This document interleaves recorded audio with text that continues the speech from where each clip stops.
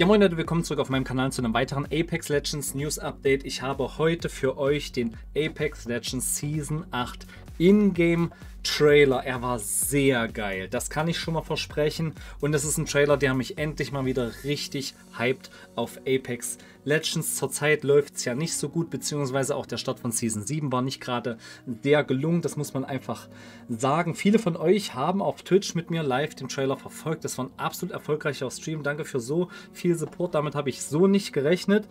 Ähm, ich zeige euch jetzt den Trailer. Es gibt eine kleine Analyse. Es gibt eine Menge zu sehen. Der Trailer geht gerade mal zweieinhalb Minuten. Ähm, und wir sehen im Trailer heraus, dass wir, so wie es aussieht, Gott sei Dank nicht bei der neuen Legende Fuse die passive Fähigkeit. Dort wurde nämlich geleakt, er kann drei Granaten pro Slot stacken. Das scheint tatsächlich nicht so zu sein. Das ist zwar noch nicht offiziell bestätigt, aber der Trailer gibt uns Aufschluss, dass es was völlig anderes ist, was auch sehr, sehr geil ist. Und ich habe nicht die Sorge, dass Fuse vielleicht die größte Abfuck-Legende nicht böse gemeint ist, aber dass sie extrem nervig ist, so wie Caustic vielleicht. Lasst euch jetzt mal überraschen und ich habe noch ein weitere oder eine weitere Information, die gibt es ganz zum Schluss. Ähm, da hat sich Respawn zu Wort gemeldet. Es geht um Legenden wie Caustic oder Gibraltar von der Masse her. Warum sich Respawn dagegen entschieden hat, nochmal so eine Legende zu bringen und das scheint so eine Dauer oder ein Dauerbeschluss zu sein. Dazu zum Schluss nochmal, äh, wie immer jetzt schon mal einen Daumen nach oben da lassen, aber wenn ihr neu seid, wenn ihr rund um Apex Legends gerade zur Season 8 nichts verpassen wollt, würde ich mich sehr drüber freuen. Viel Spaß beim Trailer und danach die kleine Analyse.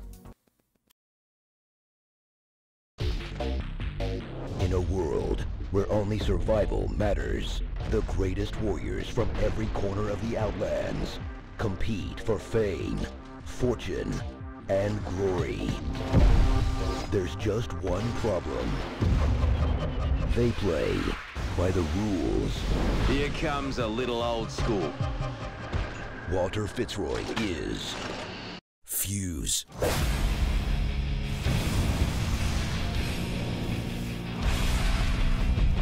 Was born into a world ruled by chaos, and he thrived in the mayhem.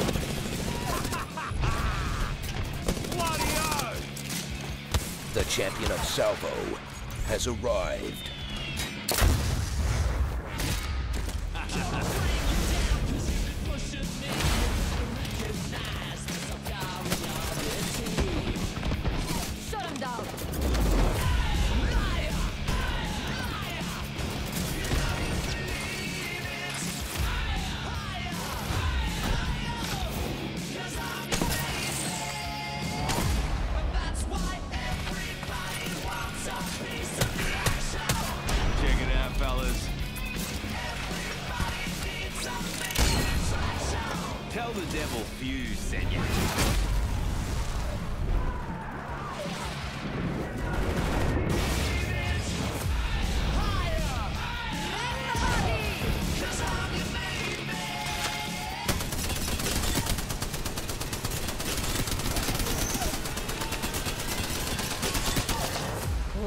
Big fan of yours.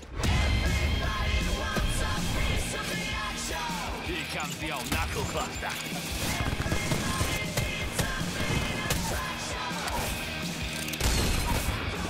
Respawn Entertainment and Electronic Arts present Walter Fitzroy in Mayhem. The chaos begins this February. Here comes the motherlode.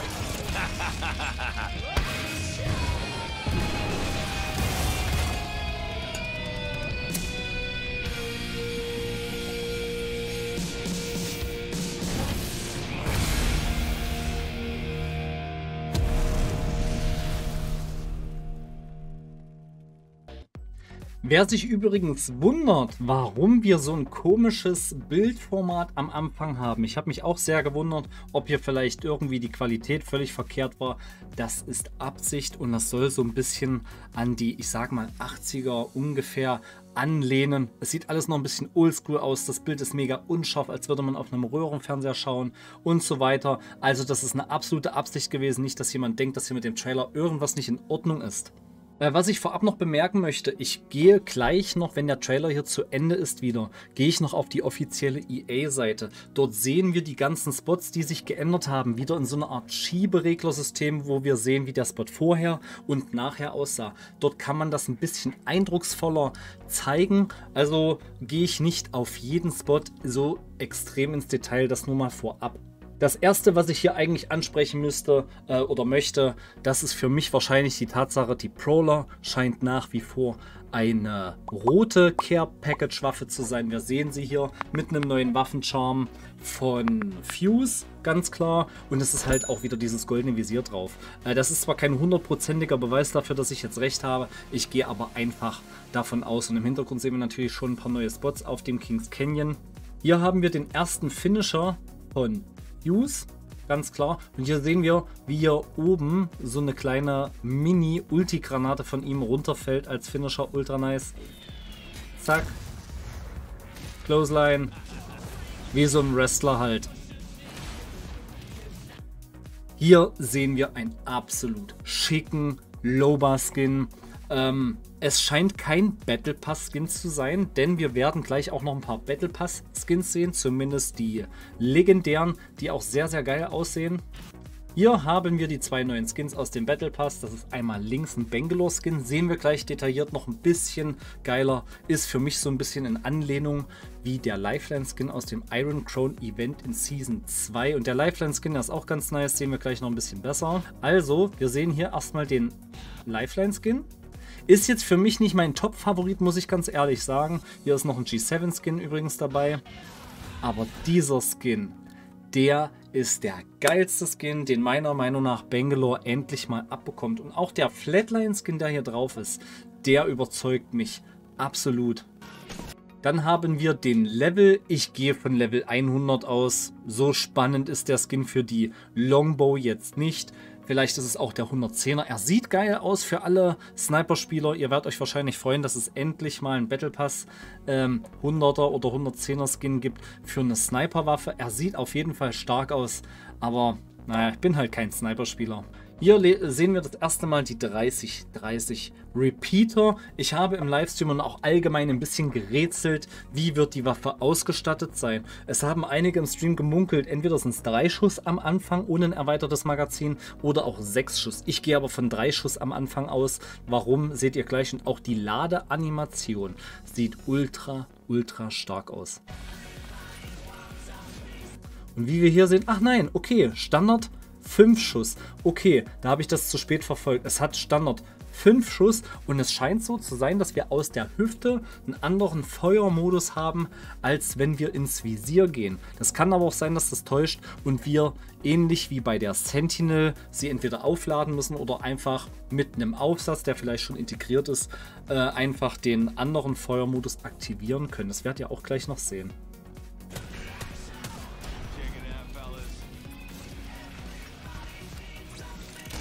Hier merkt ihr, wie der Schuss sich auflädt. Ganz, ganz deutlich. Ich dachte ursprünglich erst, es ist eine andere Waffe. Es ist aber die 3030, definitiv. Schaut nochmal kurz die Feuerrate hier. Moment, das war nicht weit. So ein bisschen wie die G7. Und hier hat man richtig gehört, wie er den Schuss auflädt. Da bin ich echt gespannt. Das war noch ein Finisher oder ein Ansatz. Und hier haben wir von der Draufsicht einen absolut genialen Ausblick auf dem Kings Canyon. Links sehen wir die Artillerie. Das sieht schon sehr, sehr geil aus. Rechts haben wir Crashed Ship, das ist ein neuer Spot, so nennt er sich dann. Äh, wie gesagt, auf der EA-Seite zeige ich gleich noch ein bisschen im Detail ein paar mehr Informationen dazu. Das ist eine Neuerung auf dem Kings Canyon, kann ich euch sagen. Das sind so eine Art Mini-Tresore, so wie wir sie auf dem World's Edge kennen. Introducing Gold Magazine. Diese Information habe ich gestern erst erhalten. Da liegt das goldene Magazin. Keine Sau wusste davon. Kein Dataminer hat das Wochen vorher geleakt. Das kam gestern erst zum Vorschein und heute im Gameplay-Trailer offiziell angekündigt.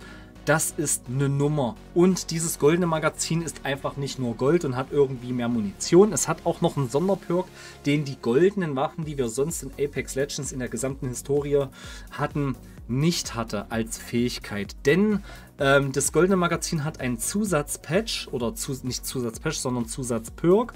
Ähm, erstens hat es genauso viel Munition wie ein lila Mac, also wie bei der Spitfire zum Beispiel, seht ihr ja gleich eindrucksvoll 55 Schuss. Aber wenn wir jetzt die Waffe mit dem goldenen Mac holstern, also quasi zur Sekundärwaffe wechseln, lädt das goldene Magazin die Waffe weggesteckt automatisch nach. Das soll nicht sofort passieren. Ich gehe mal davon aus, dass das so eine Cooldown-Zeit wie bei der Krypto-Drohne ist. Wenn du da beide Waffen leer schießt und gehst in deine Drohne, dauert das auch, glaube ich, 2, 3, 4 Sekunden. Eine genaue Zahl weiß ich hier leider nicht. Und erst dann sind die Waffen nachgeladen, sonst wäre das doch mega OP. Und hier steht, wie gesagt, die Nachladezeit noch nicht fest, zumindest nicht für uns. Ist auf jeden Fall ein mega geiler Perk und ich bin echt gespannt, was ihr dazu zu sagen habt. So, die neue Legende muss ich natürlich jetzt nicht mehr sagen. Wir haben links nochmal den Bangalore-Skin und den Lifeline-Skin und rechts sehen wir Fuse. Ich bin mir jetzt nicht sicher, ob das sein Standard-Skin ist. Wir sehen auf jeden Fall an der Repeater 3030 äh, schon einen legendären Skin, ein goldener Skin. Sieht auf jeden Fall sehr, sehr edel aus. Und übrigens, genau, hier haut er gerade seine passive nein, seine taktische Fähigkeit raus. Er hat ja rechts so einen mechanischen Arm, den kann er mit Granaten laden, mit seiner taktischen Fähigkeit sozusagen. Das sind so eine Art Clustergranaten. Noch ist aber nicht bekannt, wie die Cooldown-Zeiten sind und vor allen Dingen, wie viel er vielleicht in Reserve hat, bevor die Cooldown-Zeit beginnt.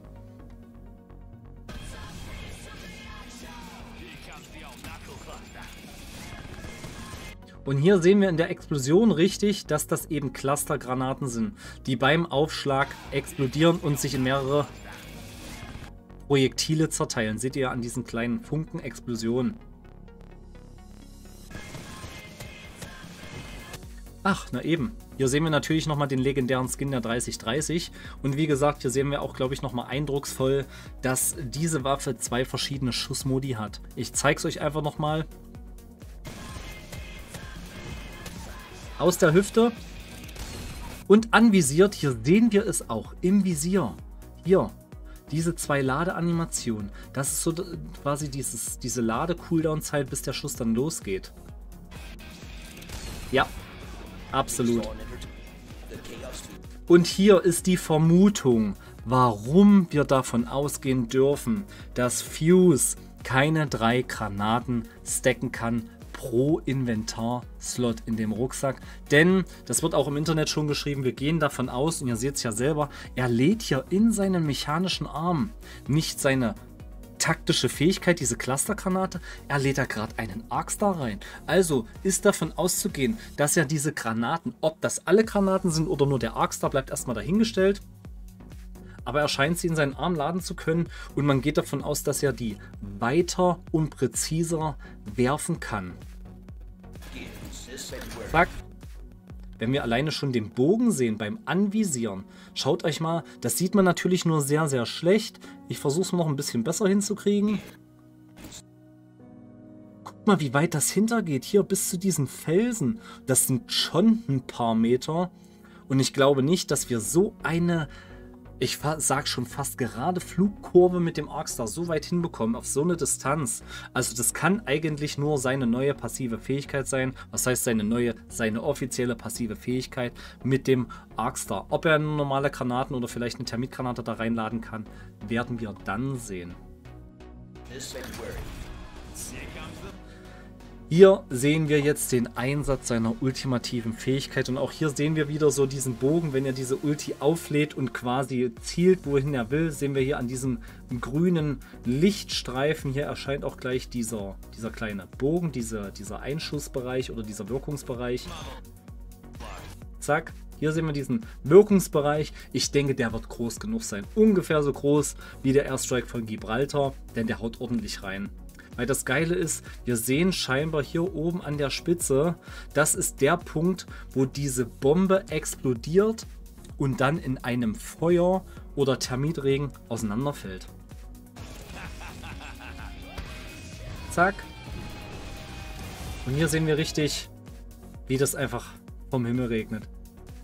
Jetzt mir auf der offiziellen englischen EA-Seite, wie immer ist es meistens so, dass die deutsche EA-Seite noch ein bisschen hinterherhängt. Deswegen bin ich ja auf der englischen. Es sind noch keine Patch Notes draußen, aber wir sehen hier schon ein paar schöne neue Bilder vom Kings Canyon. Ein bisschen besser auf jeden Fall. Und hier wird auch geschrieben, dass hier teilweise bestimmte Bereiche zerstört wurden um die Third Parties, weswegen sich so viele über den Kings Canyon aufregen und weswegen vor allen Dingen auch der Kings Canyon aus der Rankliste geflogen ist. Das soll damit ein bisschen ich sag mal, besänftigt werden. Es gibt auf jeden Fall viele interessante Sachen hier noch zu entdecken. Und, ähm, Moment, on the fly, high ground. Ach so, genau, da komme ich gleich zu. Das darf ich unbedingt nicht vergessen. Es gibt nämlich Spots, wo wir uns vom Low Ground an ein und demselben Punkt zum High Ground katapultieren können. Es gibt nämlich so eine Art Aussichtspunkte, die wir steuern können. Mega interessant. Hier ist der erste neue Spot, der nennt sich Crash Site. Das ist natürlich logischerweise die Seite, wo das Schiff abgestürzt ist. Heißt ja nicht umsonst Crash Site. Dann gehen wir hier ein Stück, Stück weiter runter. Ich lasse hier bewusst aber diesen ganzen Text aus, damit ich es nicht noch mehr in die Länge ziehe. Auf jeden Fall ein paar schöne Spots. Und hier, das kennen wir schon aus anderen Seasons, haben wir diese Schieberegler. Da können wir so ein bisschen vergleichen. Artillerie zum Beispiel, wie das vorher aussah und wie es nach dem Impact quasi aussieht. Und hier haben wir quasi dann den Durchgang Richtung Artillerie oder von Artillerie weg. Dann haben wir hier den Tunnel, der Richtung Artillerie geht, der vorher so aussah und jetzt dann so aussehen wird. Nächster Spot ist Spotted Lakes. Habe ich mir fast gedacht, dass der hier so heißt. Das ist halt Slums, so wie wir es vorher kannten. Und das ist Slums oder beziehungsweise Spotted Lakes. Der, äh, der Bereich sieht übrigens dann ganz, ganz anders aus. Hier haben wir eins der neuen Gebäude ähm, wie das von innen aussieht. Und das ist dieser Highground, von dem ich gesprochen habe. Das sind so eine Art ähm, Aussichtstürme. Die sind anfänglich scheinbar erst unten. Das steht nämlich hier ganz oben beschrieben. Ähm, mit denen wir uns dann Highground verschaffen können. Und dann fahren wir ganz nach oben. Hier haben wir übrigens diese Mini-Tresore, von denen ich gesprochen habe. Das sind Waffenkammern, die auf dem Flugschiff, was abgestürzt ist, gelagert wurden und mehrere davon sind quer über dem Kings Canyon verteilt, nicht nur an festen Spots oder beziehungsweise an diesen festen Spots, sondern quer über der Map. Und hier steht auch, wie wir die Dinger öffnen. Wir brauchen keinen Tresorschlüssel. Grob übersetzt steht hier, äh, findige Legenden haben herausgefunden, wie wir diese Dinger öffnen, obwohl wir eine Sicherheitsfreigabe brauchen. Platziere einfach nur vernünftig eine schwere Waffe, steht da. Das kann nur Sheila sein, ganz klar mit Rampart, oder eben sämtliche Granatenarten. Hier steht es auch Termit, Arkstar oder die ganz normale Frag Grenade. Wenn die richtig platziert sind, können wir die Türen öffnen und haben Zugang zu Waffen, Aufsätzen und anderen Sachen. Von Rüstungen ist hier aber nicht die Rede. Ein weiterer Spot, was ich wirklich sehr, sehr sinnlos finde, Spot The Difference. Vorher so, ich fand den Spot so als kleinen Mini-Loot-Spot, um dann weiter hinter in diese Richtung äh, zu, zu rotieren. Eigentlich ganz geil oder eben genau umgedreht. Das sieht jetzt einfach mal so aus. Völlig menschenleer, also das verstehe ich nicht so ganz, warum das komplett weggenommen wurde. Bleibt abzuwarten, was hier unterirdisch vielleicht noch zu finden ist. Hier gibt es ja so einen kleinen Mini-Tunnel unterirdisch. Vielleicht liegt, vielleicht liegt da ja noch ein bisschen was rum. Das wäre auf jeden Fall sehr interessant. Und ansonsten war es das hier. Okay, und last but not least, was ich euch versprochen habe, ähm, die Geschichte um die Legenden, die ein bisschen beleibter sind. Dort hat sich Respawn wohl nochmal geäußert. Ich gehe da jetzt nicht bis ins Detail, aber es scheint tatsächlich so zu sein, dass sie sich dagegen aussprechen, nochmal eine Legende ähm, ins Spiel zu bringen, die ein bisschen beleibter ist. Einfach die Problematik der Hitbox. Ähm, Respawn hatte natürlich vor, eben ähm, als, äh, als Apex rauskam, ein bisschen Individualität ins Spiel zu bringen, dass nicht jeder dieselbe Hitbox hat und so weiter und so fort. Alles das, was die anderen Shooter-Spiele wie bei COD, alle Gegner haben dieselbe Hitbox, sie sind alle gleich leicht oder gleich schwer zu treffen, was bei Apex eben nicht der Fall ist. Und soweit ich das richtig rausgelesen habe, haben sie eben nicht damit gerechnet, dass das so eine Probleme mit sich ziehen kann und dann eben gewisse Leute eine kleinere Hitbox haben, schwerer zu treffen sind und dann muss man einen gewissen Ausgleich schaffen, um bei den größeren Legenden eben ähm, ein anderes Profil erstellen, dass die einfach mehr Damage abkönnen und so weiter. Und es ist so ein bisschen so ein Punkt, wo ich denke, den bereuen die, weil das eine Menge Probleme ins Spiel gebracht hat, um irgendwelche Legenden so zu fixen oder so zu patchen, dass alles halbwegs ausgeglichen ist. Und hier bringe ich auch gerne, auch für mich als persönlichen Beweis, das nochmal ins Spiel. Erinnert euch an Season 3, das System, nicht das System Override, sondern das Grand Soiree Event. Dort gab es diesen beliebten Dummy-Modus. Und dort hatten alle halt nur ein Dummy, dieselbe Hitbox.